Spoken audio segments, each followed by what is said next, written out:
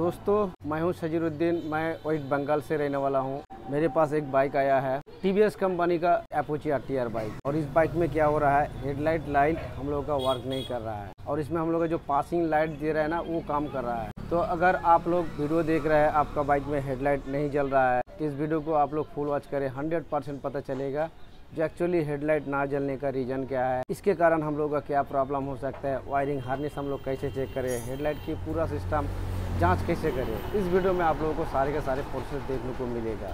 तो दोस्तों, वीडियो बहुत ही इंटरेस्टिंग होता है वीडियो को लाइक और शेयर ज़रूर कीजिए और हमारे चैनल पर पहली बार आए हो तो हमारे चैनल को सब्सक्राइब कीजिए। तो चलिए, बिना टाइम पे इसके वीडियो को स्टार्ट करता हूँ और आप लोगों को बताता हूँ। तो दोस्तों, ये है बाइक और इस बाइक को हेडलाइट चेकअप करने के लिए हेडलाइट और फैनल कवर खोलने से हम लोग को पता चल जाएगा। अब चलिए मैं आपको बताता हूँ कैसे आप लोग चेकअप करें। तो दोस्तों, यह है हेडलाइट लैम्प इग्निशन ऑन किया। और पास लाइट दे रहा हूँ, देखो। काम कर रहा है है ना? अब बाइक को स्टार्ट करेंगे। स्टार्ट किया हेडलाइट का स्विच ऑन है बट हम लोग का काम नहीं कर रहा है। तो दोस्तों, मामला कुछ और है। यानी कि पास लाइट का स्विच जब आप पुश करते हैं तो उसी दौरान हम लोग का हेडलाइट जलता है लैम्प अभी भी जलेगा, देखो, अभी भी जल रहा है। तो यानी कि ये जो लाइट जल रहा है डीसी वोल्टेज से जल रहा है। अब हम लोग हेडलाइट जो जलेगा, वो कौन सा वोल्टेज में जलेगा? तो दोस्तों, वो चलेगा हम लोग का एसी वोल्टेज से। कैसे? मैं आपको बताता हूँ। दोस्तों, ये हम लोग का आरआर यूनिट आरआर यूनिट का काम क्या है? पहले वो समझाता हूँ, तब आप लोग समझ पाएँगे। आरआर यूनिट होता है हम लोग का एक ट्रांसफार्मर की तरह, जो इलेक्ट्रॉनिक डिपार्टमेंट में होता है, जो ग्यारह हज़ार को दो सौ में कन्वर्ट करता है।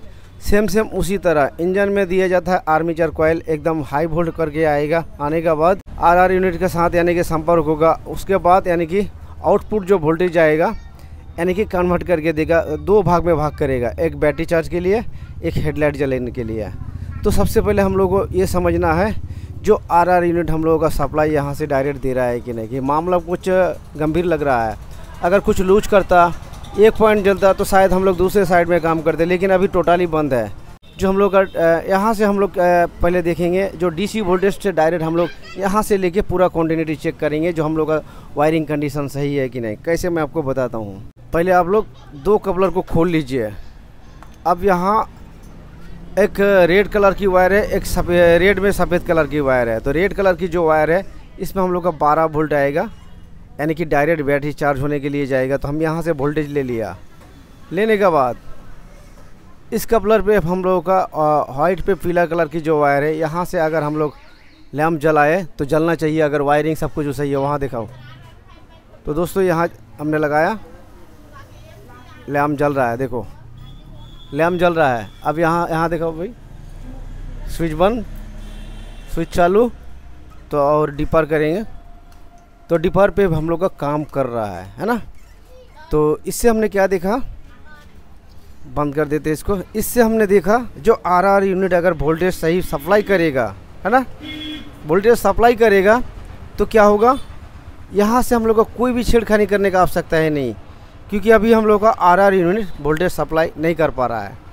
अब उसको हम लोग कैसे चेकअप करें? जो आर आर यूनिट हम लोग का ख़राब है, या आर्मीचर कोयल ख़राब है, वो हम लोग को देखना है है ना? तो दोस्तों, सबसे पहले आप लोगों को इस कपलर को लगाएँगे। तो हम लोग आउटपुट निकलेगा डिस्क को चेक करने का आवश्यकता है नहीं। मैंने चेकअप कर लिया, कोई शॉर्ट सर्किट नहीं है। सिर्फ़ ये वाला जो वायर है पीला में रेड ये हम लोगों का कौन सा वायर है? आर्मीचर कोयल से हम लोग का क्या आएगा? एसी वोल्टेज आएगा हाई वोल्ट होकर। तो वही हम लोग को देखना है। कैसे? मल्टीमीटर से भी हम लोग चेकअप कर सकते हैं। और इंडिकेटर लैम्प की मदद से भी चेकअप कर सकते हैं। चलिए, तैयारी करते हैं आप लोगों को। दोनों तरीके से चेकअप कराएँगे। के पास मल्टीमीटर नहीं रहता है, ज़्यादा से ज़्यादा लैम्प रहता है। तो लैम्प की मदद से आप लोग कैसे चेक करें? यहाँ हमने एक वायर लगाया, है ना? और एक वायर हम लोग बॉडी करेंगे और किक का ही उपयोग करेंगे। तो चलो, तैयारी करते हैं। सभी ऑन करके किक मारो। हाँ लैम्प कट जाएगा। छोड़ दो भाई, छोड़ दो। यहाँ कोई भी रिस्पॉन्स नहीं है। इनपुट वोल्टेज नहीं आएगा। तो कैसे आर आर यूनिट काम करेगा? तो चलो एक चीज़ और हम लोग चेकअप करेंगे। आर्मीचर कोयल दो प्रकार के वोल्टेज भेजेगा। एक हम लोग का हेडलाइट लैम्प जलाने के लिए, एक बैटरी चार्ज के लिए। है तो चलिए उस भी को, उसको भी चेक करते हैं। बैटरी चार्ज वाला सिस्टम हम लोग का सही है क्या? तो आप लोगों को यहाँ दो वायर है। एक वायर में लगाना है इनपुट वायर में, जो रेड में वाइट कलर की वायर है है ना? चलो भाई किक मारो।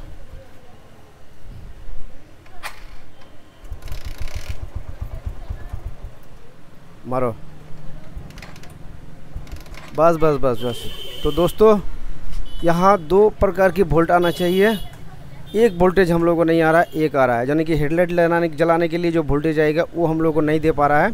बैटरी चार्ज देने के लिए दे रहा है, बैटरी चार्ज हो रहा है। लेकिन हम लोग को वही देखना है, जो एसी वोल्टेज कहाँ से आएगा। तो चलिए मैं आपको बताता हूँ। दोस्तों, ये जो पीला कलर की वायर है इस कपलर पे यहाँ से हम लोग डायरेक्ट देखेंगे, अगर वहाँ से वायरिंग ख़राब रहेगा। अगर यहाँ से नहीं आ रहा है तो मामला गंभीर है। हम लोगों को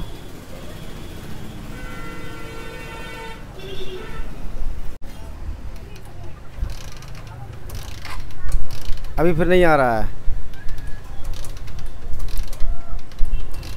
कभी कभी आ रहा है। कभी कभी हम लोग को देखना है। कभी कभी हम लोग को देखना है कभी कभी क्यों आ रहा है। हर किक में आना चाहिए। तो चलो इसका हल एक ही है। मैग्नेट चैम्बर ओपन करना पड़ेगा। तो दोस्तों, ये है हम लोगों का कोयल अब हम लोग को कोयल को चेक करना है। तो यहाँ तीन वायर है ना, एक ग्राउंड है और दो बोल्ट हम लोग का जो है, यानी कि आउटपुट जाएगा बैटरी चार्ज करने के लिए और हेडलाइट जलाने के लिए। तो चलिए यहाँ से हम लोग चेकअप करेंगे, जो दोनों तार की कंडीशन गुड कंडीशन है कि नहीं? आर्मीचर ख़राब है या क्या ख़राब है? तो दोस्तों, आर्मी चायर कोयल की टेस्टिंग करने के लिए हम लोग को इसमें ग्राउंड बॉडी से निकालना पड़ेगा, आर्मी चायर कोयल के तार की। तब हम लोग जाँच कर सके कौन सा तार हम लोग का शॉर्ट है, कौन सा पॉइल ख़राब है, और वो भी चेकअप करेंगे कहाँ पर फोल्ड है। तो चलो, इसको खोलने के बाद ही ग्राउंड को हम लोग निकाल लेंगे, ऑटोमेटिक उसके बाद देखेंगे जो हम लोग इसका चैम्बर के साथ कौन सा कोयल शॉर्ट है। तो चलो, आप लोग को तैयारी करते हैं। एक वायर को हमने यहाँ से खोला है, ठीक है? एक ग्राउंड वाला है। अब कुछ हम लोगों का इम्पोर्टेंट चीज़ जो है चेकअप करना है, इसको पकड़ो। एक ग्राउंड को हम लोग एक तरफ़ से पकड़ेंगे और ये दोनों पोल को चेक करेंगे।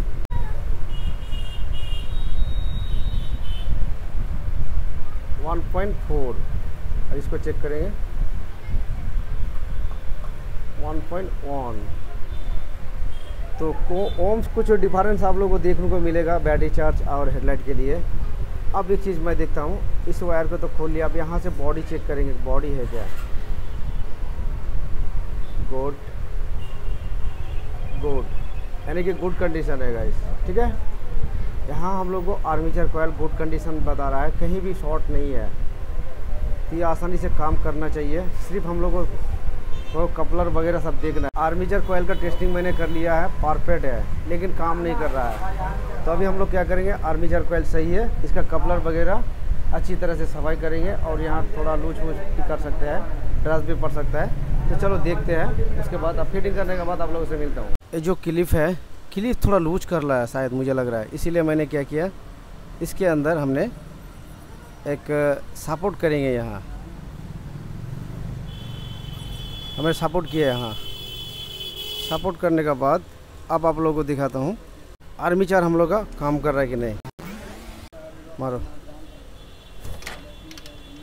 बस, काम करने लगा है। तो दोस्तों, अभी जो है आर्मी चार कोयल हम लोगों का हमने बदला नहीं। सिर्फ़ हमने क्या किया? चेकअप किया जो हमको अच्छा लगा, इसीलिए हमने यहाँ लूज फिटिंग शायद हो रहा था तो हमने फिट कर दिया है। अब चलिए, आर और यूनिट फिटिंग करेंगे। और हेडलाइट लैम्प हम लोग का चल रहा है कि नहीं, आप लोगों को दिखाता हूँ। ऐसे रखेंगे, काम बन जाएगा। इस पर प्लग लगा देता हूँ। पिकअप कोयल भी लगा देता हूँ सब। दोस्तों, हेडलाइट जलने लगा है। वन वन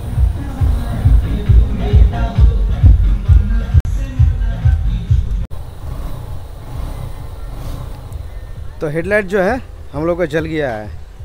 तो दोस्तों फाइनली प्रॉब्लम जो था, अगर कोई मैकेनिक रहता तो आर्मी चार कोयल टोटल फेल देता। छोटा सा हम लोग का प्रॉब्लम था। जो ये जो कपलर है, यहाँ से जो हम लोगों का इनपुट वोल्टेज आएगा आर आर यूनिट पर, यहाँ से हम लोग का लूज कर रहा था। वहाँ ड्रस कभी आ रहा था, कभी नहीं आ रहा था, वहाँ तो कचरा था, इसीलिए ऐसा दिक्कत हो रहा था। बट हमें लगा, जो आर्मीचर कोयल के अंदर है लेकिन आर्मीचर कोयल को भी हम लोग मल्टीमीटर की मदद से आज ने आज आप लोगों ने देखा, जो माप माप सकते हैं और हमने नया नहीं लगाया, उसी को हमने रिपेयर किया और काम बन गया। तो आशा करता हूँ आज का वीडियो में आप लोगों को काफ़ी सारी चीज़ देखने को मिला। तो फ्रेंड्स आज का वीडियो बस इतना सा। Thank you